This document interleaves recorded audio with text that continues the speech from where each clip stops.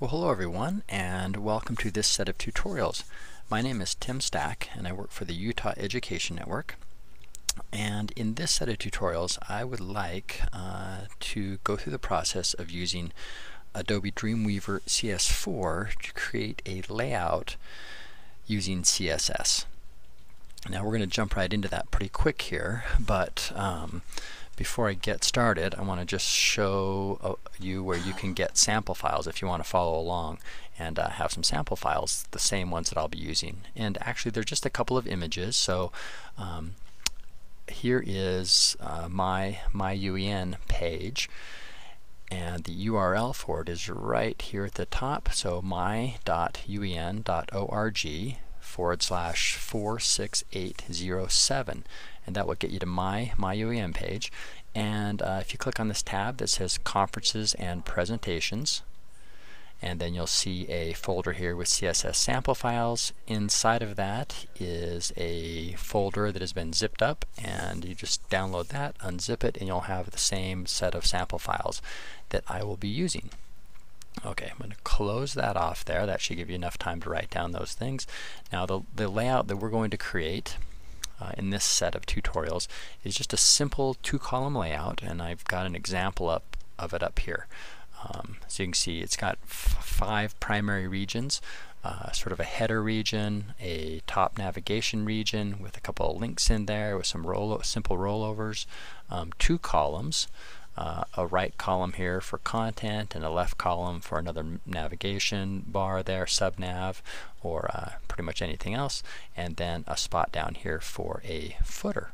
So um, pretty simple layout, uh, but when we create a, a, layout in using CSS, it's nice to sort of start with uh, a nice, clean, simple layout and then go from there. Now, uh, one quick word about CSS. Um, I kind of I'm, I'm, kind of assuming a little bit of CSS knowledge. This isn't a, a basic CSS tutorial, um, but just a little bit of um, background with CSS here. So this page that you're looking at now, our little sample file, it's actually it actually takes two documents to create this layout. All right. So one is the HTML document, uh, which basically holds the content and the second document is the CSS document and that CSS document has the instructions for where this content is supposed to show up on my page and how it is supposed to be formatted. The color the you know background images what the background color is supposed to look like the links what are they supposed to look like and the positioning where stuff um, is laid out on the page. And if uh, if let me just uh, turn off the styles here um, you can see. So now I am just seeing the plain HTML document. Still have the, the two headers up here at the top, my navigation which ends up as a bulleted list, and then I have my left column there, a couple of paragraphs are in the right column, and then this footer information down here. So with the CSS turned off, you can see it's just plain, usually plain text. Often there might be a few images in here if there were some images in the content. Um, but everything else goes away. Everything else is on the style sheet. And then if I switch to the style sheet, here's what this style sheet is uh, is looking like. So the instructions on how to make things look and where to um, put stuff. So you can see there, there's my left column and it says, hey, I want this this region or this rectangle or this box to have a padding of 20 pixels. I want it to float to the left. I want it to be 140 pixels wide um, and it's going to have a background image that uh, is going to repeat. Well, that's anyway. So um, those are my two documents. Now I am using um, I am using this um, nice little. Let me just back it up here.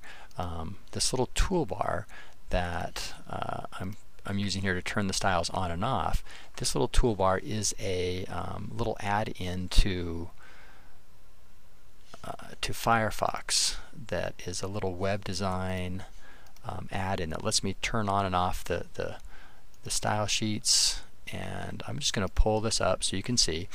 Um, this add-in is called the Web Developer 1.1.6 so if you're interested in that uh, and you use Firefox just go to the Firefox menu and you can uh, under preferences here, go and find add-ins that you can do. And that one's, this one's called the web developer. And it, one thing it does let me do is, I mean, it does a lot of stuff, but really the thing that I use it for is to sort of turn style sheets on and off, or turn the CSS on and off, so I can um, so I can see stuff, see how see how the CSS is working, test things out. So um, that's the that's going to be our our layout. You can do this on other websites as well. Let me just here's a um, another site. I'm going to disable the style sheets here, and when you, I do that, you can see um, the content becomes very text-based. So all the formatting goes away, and all that's left is the content that was on this page. So kind of fun to see, um, and a nice little tool to help me understand how CSS is working on different on different pages. All right, so let's get rid of this um, and go into Dreamweaver. Now, what I would expect is uh, if you're going to follow right along, you would have gotten those sample files and you would have uh, created a root folder on your desktop or on your computer somewhere and have gone in and defined this practice site. And you can see I just called it CSS layout here. Um, and so I've got CSS layout and there it's pointing towards my folder that is holding those uh, sample files. And I've got an extra one that you probably don't have, this assets one. That's just for some some other stuff, but really the images, you can see I've got three images that I'm going to use in this layout, and then, um, so those are the JPEGs, and then I have the, the PNGs that go with them, so if I wanted to edit them some more or adjust them a bit, I've got the PNGs available uh, to do that, sort of my master copies. So uh, the one thing that I don't have in here now is an HTML document to get started working on. So I'm just going to come up and right click or control click on my site folder and do new file. And I'm just going to name this layout.html. So that's the document that I'm going to work on in Dreamweaver. And if I double click on it, that'll open up. I need to bring it over here and open it up in this window. Okay, so I opened up that HTML file, um, and Dreamweaver gives me some, th this version of Dreamweaver gives me some nice options here of how I see stuff. So right now uh, it comes up in design view. I can split the screen so that I see the HTML over here and then I'll see design view on this side and that's probably the way I work most commonly um, but you can control all of that here. So if I'm used to the uh, previous versions of Dreamweaver and I like it split vertically, so I like to see the HTML on the top and the design on the bottom, um, this, this default menu right up here lets me do that. But I really like um, this vertical split tool here. Okay, so I'm just going to give this little name. This is my layout. Okay, now uh, in the next tutorial we'll start laying out these regions but that's just a little introduction getting things set up getting things ready to go um, and in part two we'll start putting in our regions or our div tags